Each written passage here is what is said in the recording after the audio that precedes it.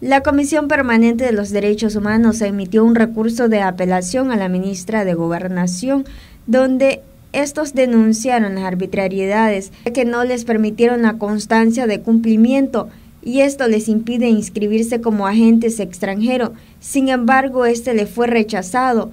No poder inscribirnos como agentes extranjeros y lo definitivamente que pareciera que esa es la intención que pretenden estos funcionarios. Nosotros desde diciembre hemos venido señalándole, hemos venido presentando en reiteradas ocasiones información que cada vez nos piden más información, pero no vamos a, a seguir ya en esta arbitrariedad y en este jueguito del Ministerio de Gobernación y sus funcionarios de que cada día que venimos nos piden más información, el cual ni en la ley está establecida. Entre los requisitos que solicitan son los siguientes. Ellos están pidiendo requisitos del año 2016-2017 que no eran no era requisito en ese momento de entregar.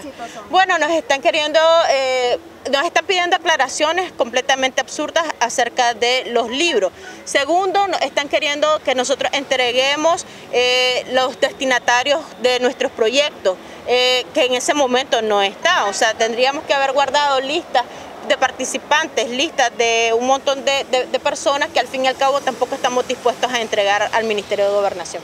Esa, última información que están pidiendo, definitivamente el CPDH no va a hacer entrega de nada. Nosotros lo que le podemos presentar es un informe, un resumen ejecutivo del trabajo que nosotros estamos desarrollando, pero jamás le vamos a suministrar ni la lista del nombre de los beneficiarios de los proyectos, porque no le corresponde. Es un abuso, una arbitrariedad de estos funcionarios de este gobierno que pretenden fusilarnos a cada una de las organizaciones que estamos señalando y documentando los abusos constantes de violación de los derechos humanos que se dan en este país.